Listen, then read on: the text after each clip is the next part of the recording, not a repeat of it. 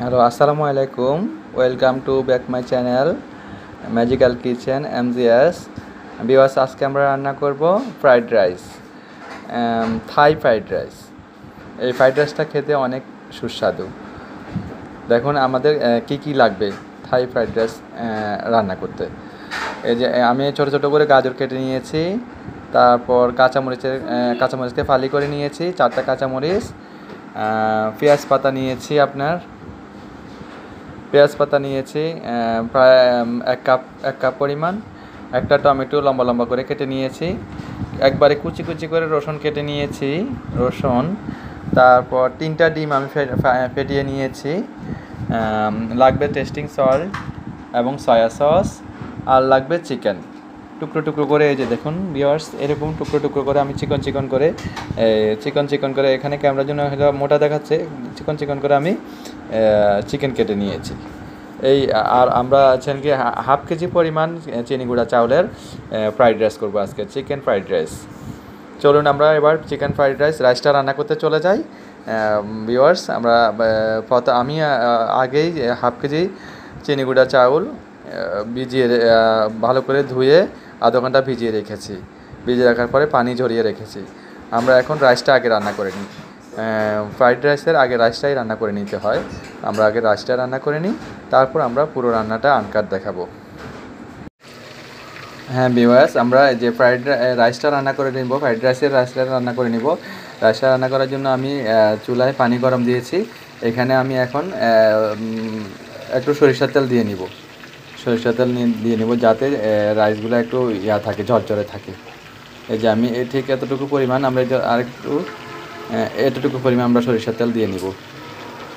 দুই টেবিল চামচ পরিমাণ। দাঁড়া হ্যাঁ। ভিউয়ার্স তেলটা দেওয়ার পরে তেলটা আমরা একটু নেড়ে ছেড়ে দিতে হবে, যাতে পানির সাথে একটু বেশি তেল তো পানির সাথে মিশে না, তারপর একটু নেড়ে ছেড়ে দিতে হবে। এখন এই যে পানিগুলো গরম হয়ে গিয়েছে, আমরা এখন চাউলগুলো দিয়ে দিব। এই যে যে চাউলগুলো আমি যে আধা ঘণ্টা পানিতে ভিজিয়ে রেখে যে পানি জড়িয়ে রেখেছে সেই চাউলগুলো এখন দিয়ে দিচ্ছি। হাফ কেজি পরিমাণ চিনি গুঁড়া চাউল। এখন চাউলগুলো নাইনটি পার্সেন্ট সিদ্ধ হতে হবে। নাইনটি পার্সেন্ট সিদ্ধ হলে আমরা নেমে নিব। যে যাতে ভিতরে একটু নেড়ে সেড়ে দিতে হবে, যাতে লেগে না যায় যাতে লেগে না যায় অনেক সময় নেড়ে ছেড়ে না দিলে লেগে লেগে যায়।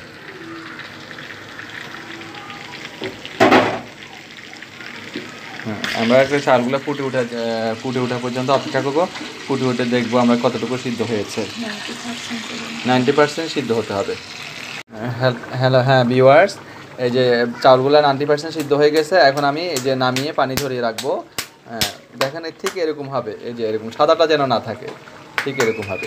এখন আমি নামিয়ে নিচ্ছি। নামিয়ে পানিটা নামিয়ে পানিটা ঝরিয়ে রাখছি। এই যে আমরা ভাতের যে ভাতের ফ্রাইড রাইসের ভাতের পানিটা জড়িয়ে রেখেছি। এখন আমরা এখানে একটু সরিষার তেল দিয়ে দিব, যাতে ভাতগুলো জর্জর থাকে। জর্জর থাকে। এখন সরিষার তেলটা দিয়ে হয়েছে আমরা আর দিব না। এই দুই এক টেবিল চামচ পরিমাণ সরিষার তেল দিয়ে দেবো। দেওয়ার পরে আমরা একটু ইয়া করে নেব, মিশাই নিব সরিষার তেলগুলো, যাতে ভাতগুলো ঝরঝরে থাকে। চলুন আমরা এবার চলে যাই fry chicken Thai chicken, fried rice রান্না করতে। এরপর থেকে পুরাটা থাকবে আনকাট। যাতে আমরা আপনারা ইয়াটা টাইমটা আমরা ইয়া করতে পারেন ক্যাচ করতে পারেন। হ্যাঁ ভিউয়ার্স আমরা এখন মাংসটা ম্যারিনেট করে যে এখানে আমি তিনটা ডিম ইয়া করে রেখেছি, ফেটিয়ে রেখেছি। এখান থেকে আমরা সামান্য পরিমাণ ডিম দিয়ে দিব মাংসে মুরগি মাংসে। সামান্য বেশি না অল্প একটু মাংস, মুরগি ইয়া করে দিব, সামান্য পরিমাণ ইয়া দিয়ে দিব, তারপর একটু টেস্টিং সল দিয়ে দিব। তাও সেটা দিব এক চা চামচ পরিমাণ, বেশি না। এখানে আপনারা চিকেন চিকেন পাউডারটা ইউজ করতে পারেন। কিন্তু আমার আমার কাছে এখন চিকেন পাউডারটা বাসায় নেই সেই জন্য আমি টেস্টিং সলটা অল্টারনেট ইউজ করতেছি। এখন আমরা এটা মাখাই নিব। মাখায় নিয়ে আমরা চলে যাব চিকেন ফ্রাইড রাইস রান্না করতে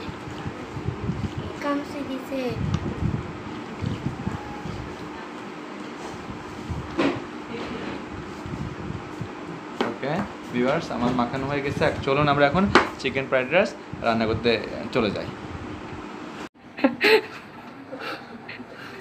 হ্যালো ভিউয়ার্স হ্যাঁ আমরা শুরু করছি আনকাট এই যে fried chicken fried chicken fried rice রান্না করা। এখানে আমরা এখন তেল দিয়ে দিচ্ছি আপনার তিন টেবিল চামচ পরিমাণ তেল দিয়ে দিচ্ছি।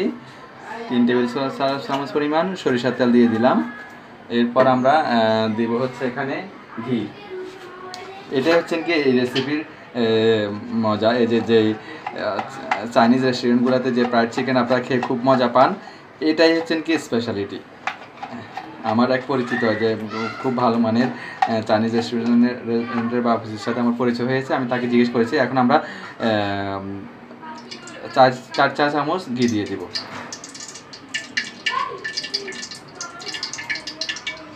ঘিটা দেওয়া হলো, চার চা চামচ ঘিটা দেওয়া হলো। তেলটা আমরা পুরাতে যাব না। তেলটা যদি আমরা পুরাই, তাহলে তেলটা তো পুড়েই গেল। তেলের তেল থেকে আমরা আর কিছু পাবো না।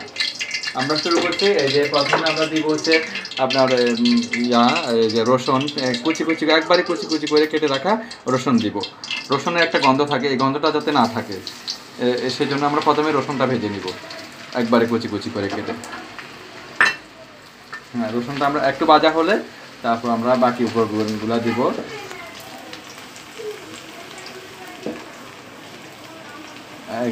তেলটা মনে হয় একটু ইয়া হয়েছে, কড়াইতে রান্না করতেছি তো ওই ভিওয়ার্স সেই জন্য মনে হচ্ছে একটু বেশি চারপাশে ছড়ায় নাই।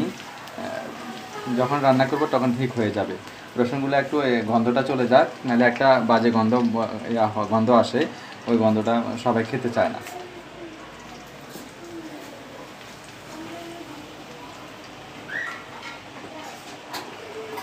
অবশ্য এই যে আপনার এটা ফুল ফুল আছে রান্না করতে হয়। ফ্রাইড চিকেন ফ্রাইড রাইসটা ফুল ফুল আছে রান্না করতে হয়। চাইনিজ চিকেন ফ্রাইড রাইস এটা, এটার স্পেশালিটি হচ্ছে ফুল আছে রান্না করা। সে আমরা চুলা নাস্তা দিয়েছি একদম ফুল ফ্রেমে দেখুন, একদম ফুল ফ্রেমে দিয়ে দিয়েছি। আর এটা রান্না করতে বেশি সময় লাগে না ভিউয়ার্স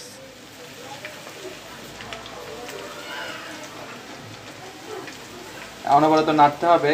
যাতে একবারে এক পিঠ পুড়ে যাবে, আরেক পিঠ পুড়বে না, তা সেটা হবে না। সেটা হলে আবার সেটা পারফেক্ট হবে না জিনিসটা। এখন আমার এই যে রসুনটা হয়ে গেছে, আমি চিকেনগুলো দিয়ে দিব এর ভিতরে, যে মাখিয়ে নিয়েছিলাম, সেই চিকেনগুলো দিয়ে দিব।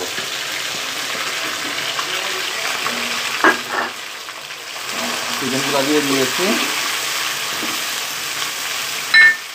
দেখুন, এই যে দেওয়ার পরে কালারটা কীরকম হলো? এমন এত ফুল আছে রান্না করতে হবে? যে দেওয়ার পর পরে কালারটা চেঞ্জ হয়ে গিয়েছে। আর চিকেনগুলো হয়ে গেছে চিকেনগুলো আমি একদম পাতলা পাতলা করে কেটে নিয়েছি। Fried chicken chicken fried rice Thai chicken fried rice রান্না করার সময় এরকম করে পাতলা পাতলা করে চিকেনটাকে কাটতে হবে।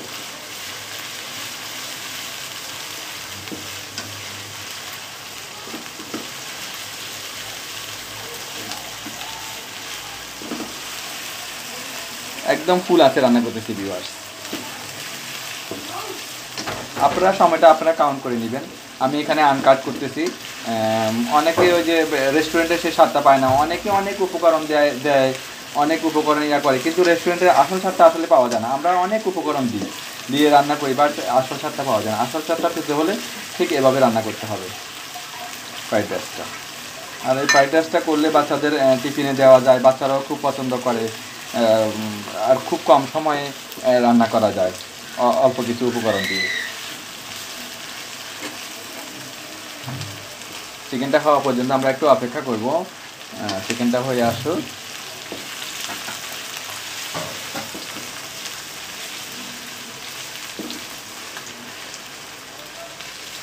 যেহেতু এটা fried chicken chicken fried rice Thai chicken fried rice চিকেনটা তো অবশ্যই লাগবে এখানে।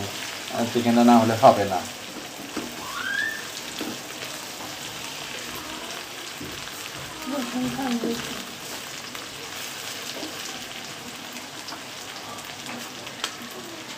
চিকেনটা হওয়া হওয়া পর্যন্ত আমি আঁচটা একটু কমিয়ে দিয়েছি। রসুনটা যেহেতু রসুনটা পুড়ে যাচ্ছে রসুনও পুড়ানো যাবে না আবার চিকেনটাও হতে হবে। সেদিকেও খেয়াল রাখতে হবে। এরপরে ফুল ফ্রেমেই রাখতে হবে। যখন আমরা এরপরের ধাপে চলে যাব ডিমটা এরপরে আমরা ডিমটা দিব। ডিমটা দেওয়ার পরে যখন রাইসটা দিব তখন একবারে ফুল ফ্রেমে থাকতে হবে। কমানো বাড়ানো কিছু করা যাবে না। মিডিয়াম লো কিছু করা যাবে না। এখন চিকেনটা হওয়ার জন্য আমি ইয়া করেছি।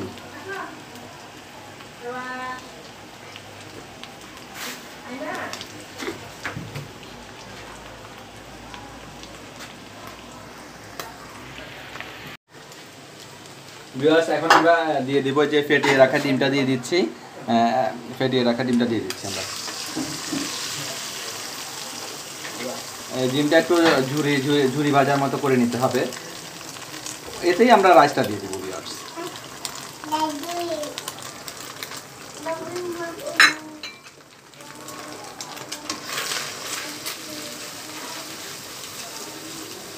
এতে আমরা রাইসটা ও, এখানে আমরা আবার একটু এক চা চামচ পরিমাণ সাদা গোলমরিচের গুঁড়া দিয়ে দিব। তাহলে টেস্টটা একটু অন্যরকম হয়। এই যে এক চা চামচ পরিমাণ সাদা গোলমরিচের গুঁড়া দিয়ে দিলাম ভিউয়ার্স আপনারাও সাদা গোলমরিচের গুঁড়া, গুঁড়াটা ইউজ করবেন।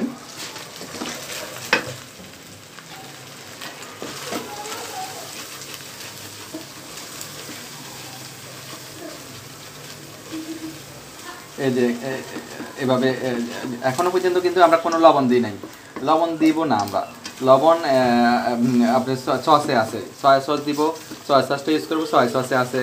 তারপর আমরা এখানে আবার এই যে চিকেনের টেস্টিং চলটা দিয়েছি, ওইখানে আছে। আমরা এবার রান্নাতে চলে যাব। আমরা এখন রাইসটা দিয়ে দেব। রাইস দেখুন রাইসটা এই যে ভাতটা কি ঝরঝরে আছে, এই যে তেলটা দেওয়ার পরে ঝরঝরে আছে। এখন আমরা চুলা রাসটা একবারে ফুল ফ্রেমে করে দিব। ফুল ফ্রেমে করে আমরা ভেজে নিব। আহ, রাইসটা সম্পূর্ণ দিয়ে দিলাম। এখন আমরা ফুল ফ্রেমে রাইসটা ভেজে নিতে হবে।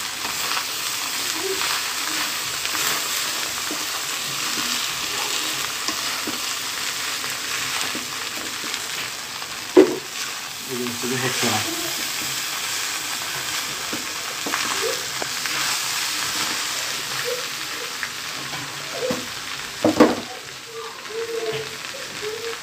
সাথে আমরা গাজরটা দিয়ে দিব ভিউয়ার্স গাজরটা সহ দিয়ে দিব।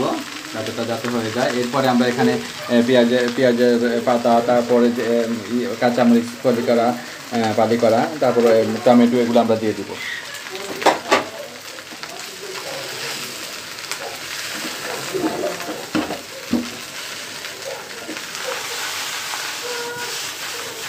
ফ্রাইড রাইস, ফ্রাইড রাইসটা আসলে স্পেশালিটি এটা। ফ্রাইড রাইসটা এভাবেই রান্না করতে হয়।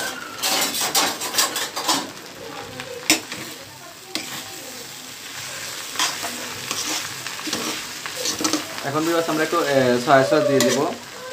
চার টেবিল চামচ পরিমাণ সয়া সস দিয়ে দেবো। সয়া সসটা আমরা দিয়ে দিচ্ছি এখন।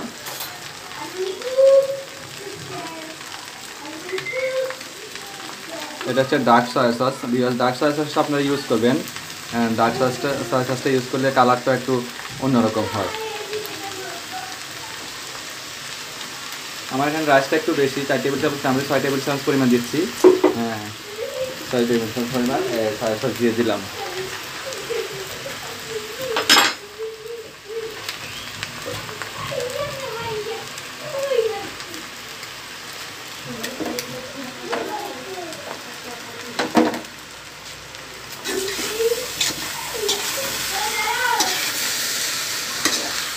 দেখুন কতক্ষণ রান্না করতেছি। আপনারাই আপনারা নিজেরাই কাউন্ট করে নেবেন ইয়াটা, সময়টা। এখানে আমি আনকাট রান্না করতেছি দিও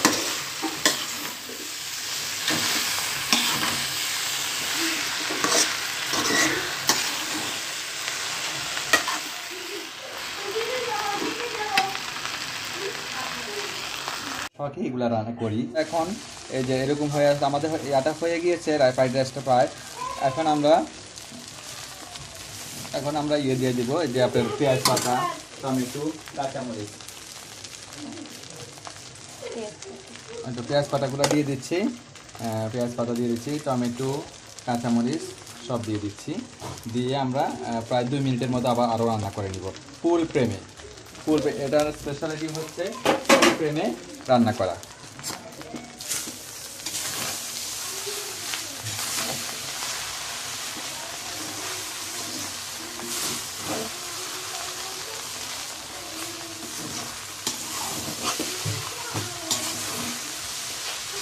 এখন বিরাট রাইসগুলা কীরকম ঝরঝরে আছে।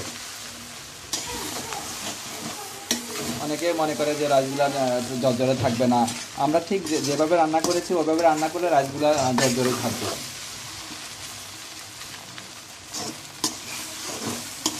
একটুও নিচে লাগে নাই তলা নিচে একটুও বাজে নাই রাইসগুলো জর্জরে আছে। এভাবে আপনারা রান্না করে খাবেন, ভালো লাগবে। আমরা আরেকটু উঠিয়ে নিব। আরেকটু উঠিয়ে নিলাম। প্রায় দুই মিনিটে রান্না করব আমরা।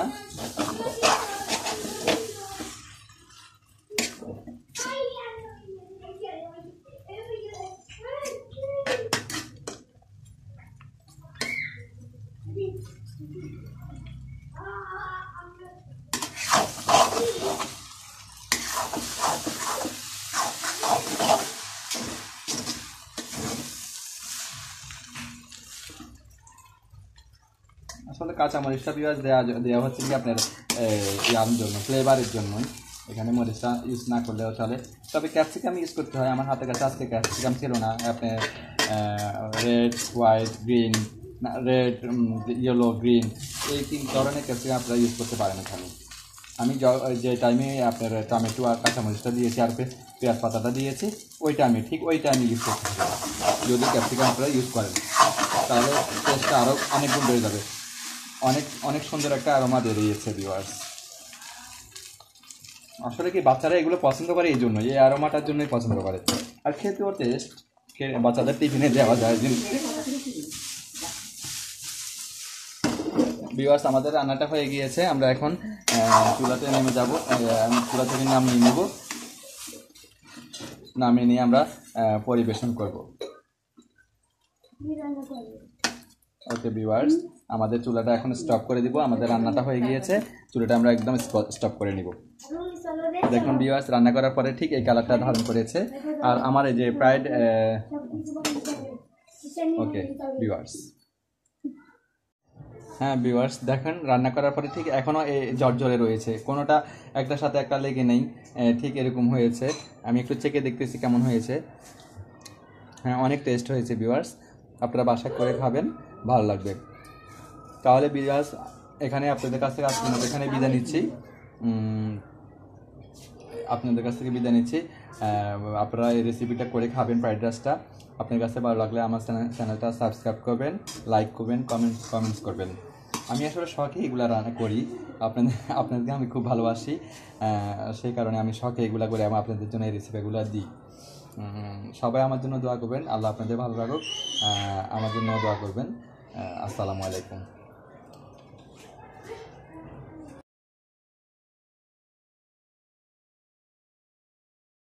Okay viewers